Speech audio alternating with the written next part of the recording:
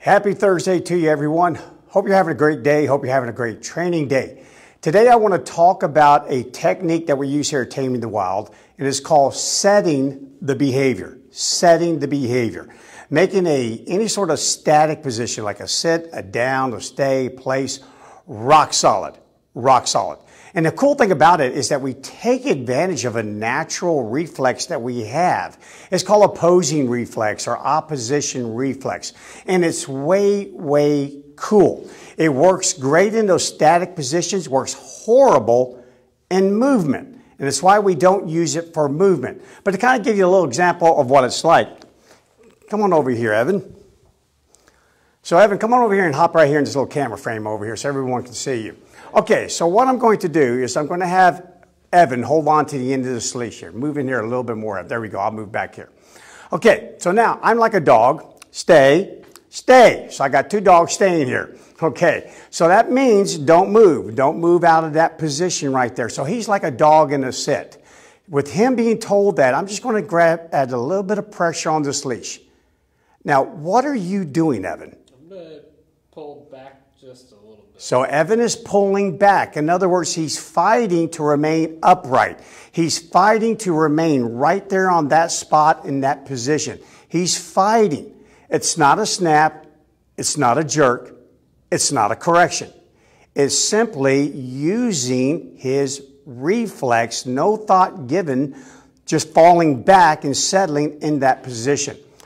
Free. Good job, Evan. way to go, way to go, buddy. Okay, so opposition reflex can really help you create that rock solid sit, down, stay, place. It's uh, really handy to use in training. But the biggest uh, misperception that we have when it comes to doing the setting the behavior is people think you're correcting the dog. They, they scratch their heads and go, why are you trying to pull the dog off the cot? Why are you trying to pull the dog out of the set? Why are you trying to pull the dog out of the down, stand, and so on and so forth? Why are you trying to do that when the dog's simply trying to comply? Well, here's in short. So a little biology 101.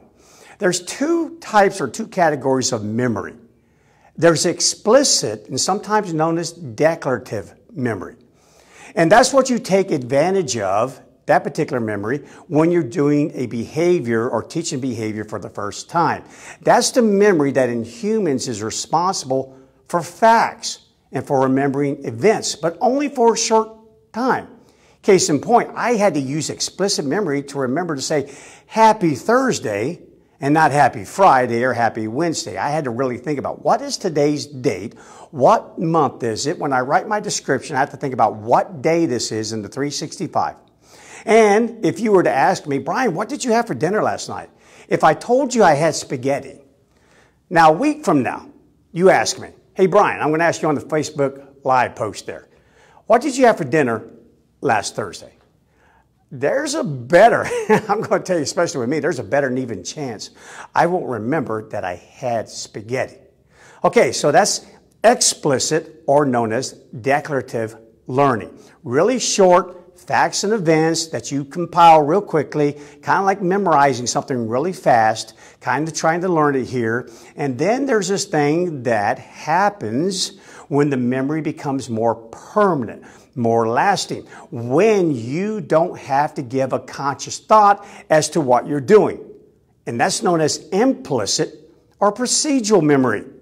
Yeah, that's the thing that's responsible for you riding a bicycle.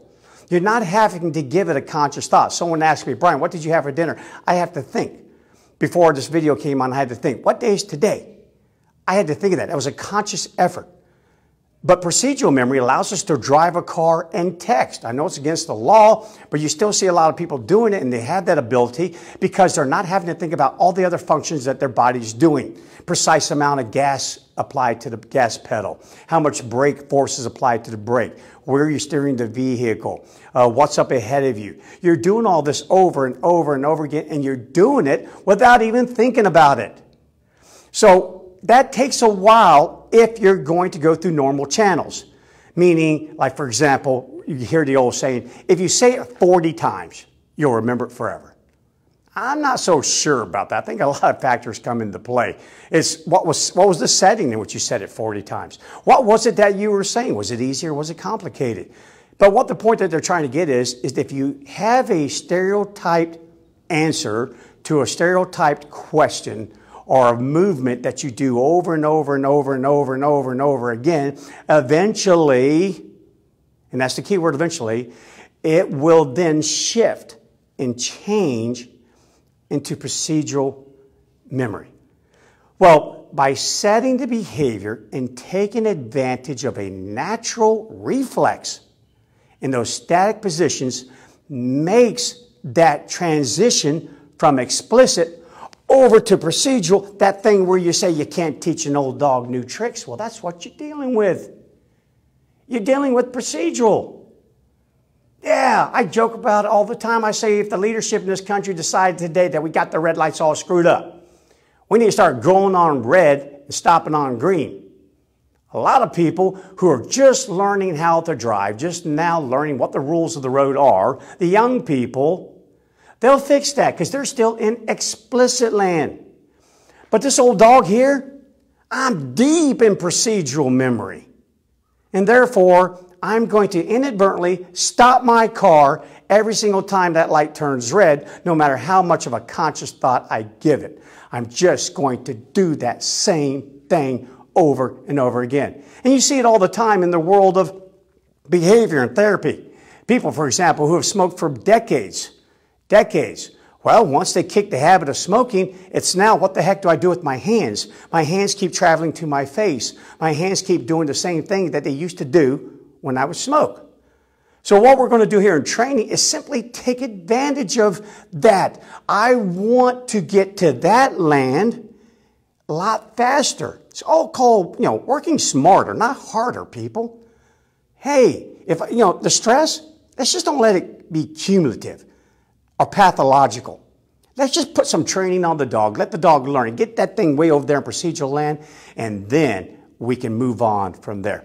Okay, so it kind of demonstrates just a little bit here with Captain, and then in a minute here, I'm going to have Joshua bring out a dog that we have here currently going through one of our board and train programs. Her name is Willow, and he'll demonstrate with her. But let me just show you a little bit with Captain here. So I'm going to put him on the leash here. Cow dog, free. Okay, so I'm moving him around, and I'm going to bring him over here and tell him, please, stay. Typical procedure. But now notice I'm pulling on him pulling. I'm not correcting. The compression collar is not choking. You see Captain looking at me for direction. But he's fighting it. Wow, look at that. He's fighting it, fighting it, fighting it. That muscle memory, that procedural memory is setting in like a rock, setting in. You bet. It's wonderful. It really helps the behavior. Remember, I'm trying to get to the land where I tell you place, you just hop on that cot, you don't get off that cot, and you don't even think about it. Same thing for come. I tell you to come, you need to start coming to me. Don't even think about it. There's so many things that you can train your dog to do without giving it a thought. But on those static things that don't require movement, like heel, and like some come, unless you're having them stay before you call them, you don't use this technique because it works against you. In movement, two masses in movement want to remain in movement, regardless of what the other one's doing.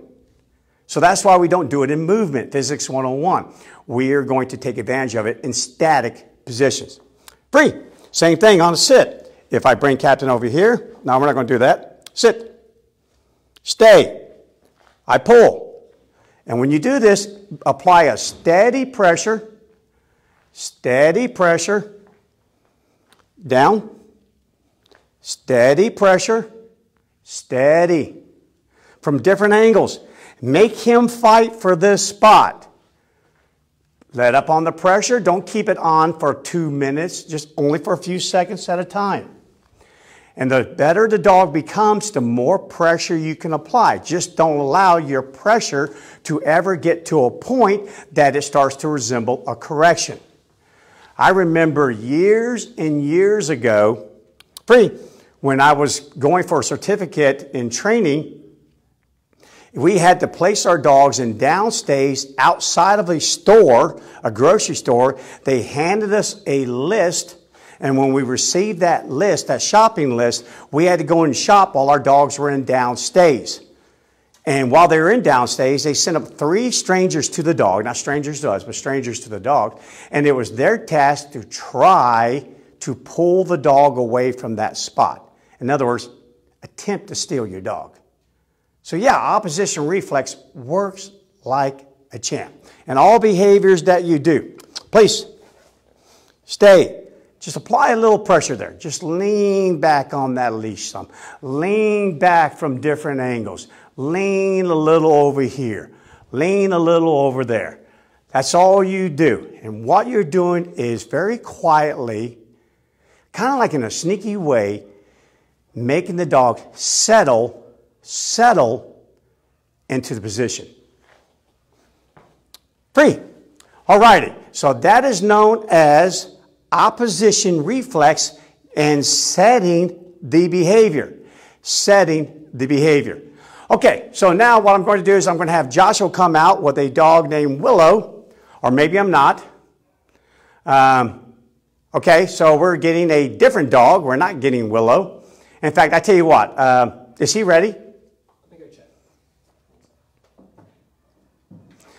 So apparently, Willow needed to go potty in a really bad way. Now, well, there's no using that as an opposite reflex. None whatsoever. You just got to let that thing go. All right, so I'll just keep working just a little bit here while Captain is in the room. A dog. Let's do it, buddy. Now, see, if I were to attempt this on the heel, if I were trying to give steady pressure on the heel, what I would end up doing is inadvertently creating a pull so that the dog would end up pulling me. Because again, as I pull on the heel, I pull back on that heel when the dog's pulling me, then really, in essence, what I'm doing is creating a dog who's going to pull harder.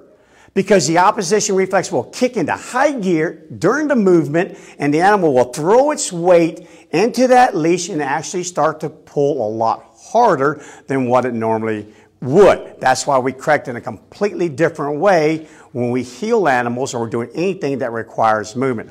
Okay, so who do we, wait a minute, is that not Willow? This is Willow. Okay, so what we got here was the same dog, different handler. Okay, so maybe it's Joshua that had to go to the bathroom. I'm all confused here. So we'll just get it all sorted out here in a real hurry. I got Jake standing on my shoulder back here with Willow. So if you're confused, so am I. But let's don't be confused on what I'm trying to teach today. All right, Jake, demonstrate with Willow, would you please, sir? Yes, sir. Sit. Girl. Sit. And there he is, giving a little bit of that force on Willow. Not a correction. She's looking straight ahead, looking around. Not a correction. Just trying to set that behavior. A young dog in training, setting that behavior. Look at her fight for that spot, fight for that spot. All right, let's do her on place. So I'm just trying to move the cot where everybody can see.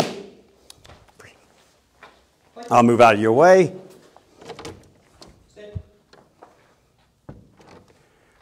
A little bit of pressure. And look at that. so, in other words, her way of fighting that pressure there was simply just lie down. In other words, hey, I'm just going to collapse on this cot here and I'm going to stay right here. I'm not moving. You can't make me get off. Nice try.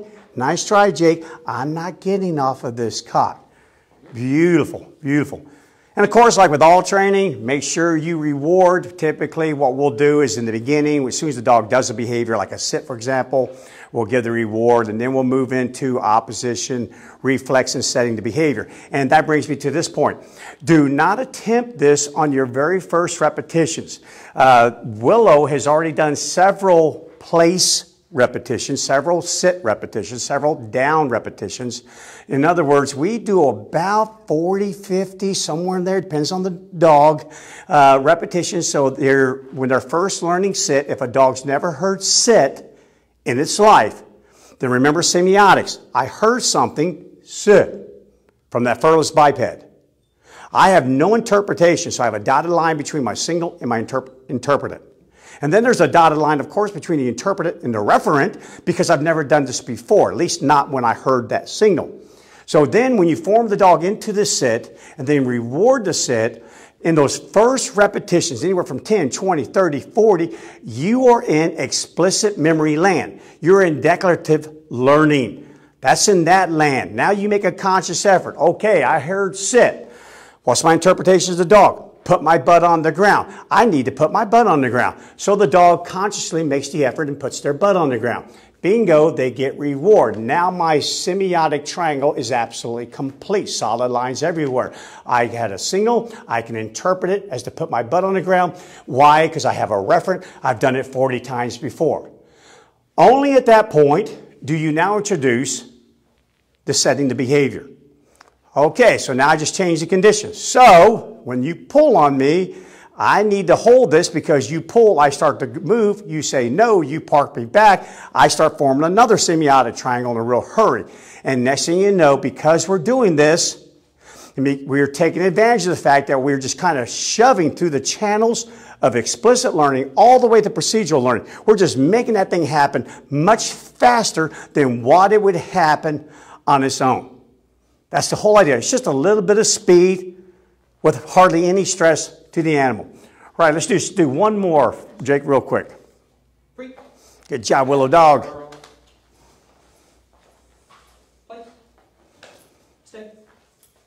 And now he's pulling. So you see with us, we're pulling almost immediately with her, getting her on the cot, just long enough to settle on the cot, and look how quickly she settles. If you watch that, rewind that, man, she dives on that cot, slams on the brakes, and she is settled in. And that's what we want settled in. Because now we'll be ready for the very next things that's going to start occurring, and that will be big time. Distractions, ding dong, ring that doorbell. Hey, somebody come over and say, wow, what a cool dog. Can I go pet your dog? And we'll say, yeah. They can pet the dog, but the dog doesn't move, doesn't get off of that cot. Why? Because I'm not even thinking about staying on this cot. I don't even have to think about it. I don't have to give it a conscious effort because I'm not in explicit land. I'm in implicit land. Sweet. That's the best place to ever be. Best place ever when you're trying to create habits that are rock solid. Habits that later on you go, damn, I wish I hadn't taught that. Too late now, man. Too late. You already taught it.